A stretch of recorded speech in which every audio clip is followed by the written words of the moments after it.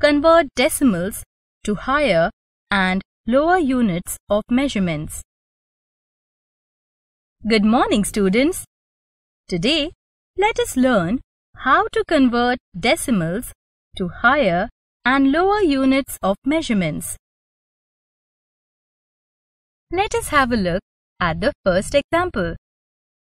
Express 500.78 meters in meters and centimeters.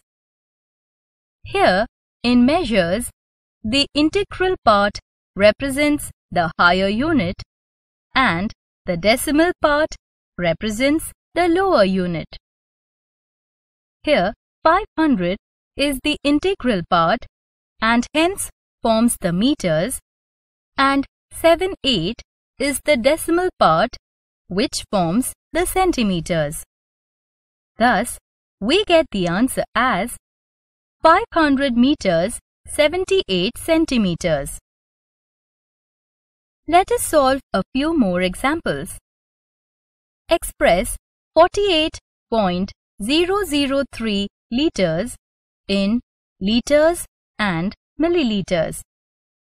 Here, 48 forms the integral part and 003 the decimal part.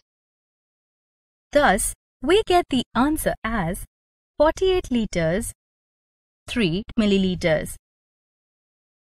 Next, express 1100.234 kilograms in kilograms and grams.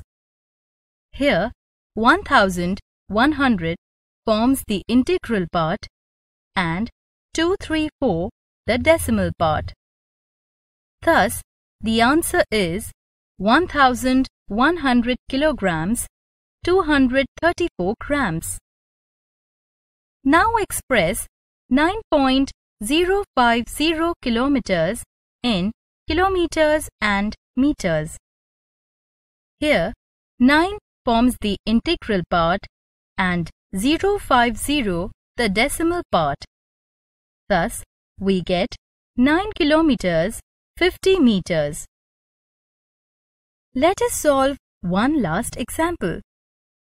Express 63.742 kiloliters in kiloliters and liters. Here, 63 forms the integral part and 742 the decimal part. Therefore, we get the answer as 63 kiloliters 742 liters. Wasn't it fun converting the different measurements? Now, take out your notebooks and start solving a few on your own.